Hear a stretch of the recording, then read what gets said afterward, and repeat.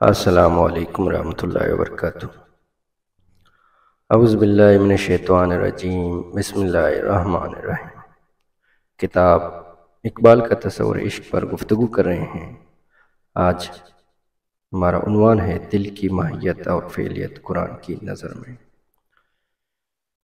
इस जगह पर मुसनफ़ साहब शेख राम मुसनफ़ साहब फरमाते हैं सरशत इंसानी में दिल के मखसूस मकाम और दिल की माहियत की कुरान ने इस तरह सराहत की है।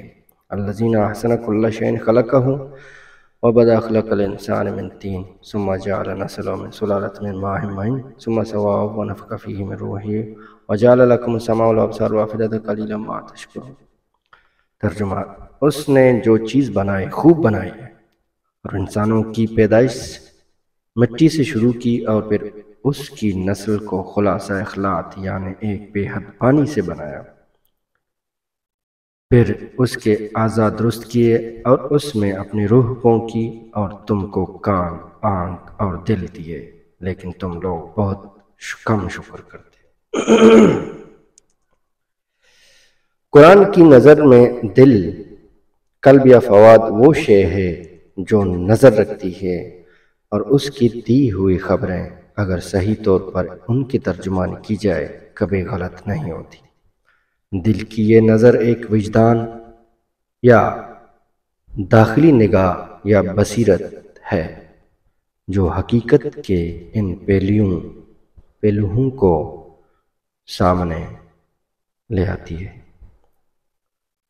जिनकी, जिन तक रसाई अकल के ज़रिए नहीं हो सकती। मुसन्ना साहब फरमाते हैं कि दिल वो मम्बा है जहाँ से कोई गलत खबर, यानी कल वो मम्मा है जहाँ से कोई गलत खबर नहीं आ सकती। सिर्फ़ इंसान को अपनी बसीरत के जो अंदरूनी बसीरत है, उसको एक्टिव करना पड़ेगा ताकि दिल से जो आवाज़ें आ रही हैं, उनको वो सुन सके, उनको वो देख सके। क्योंकि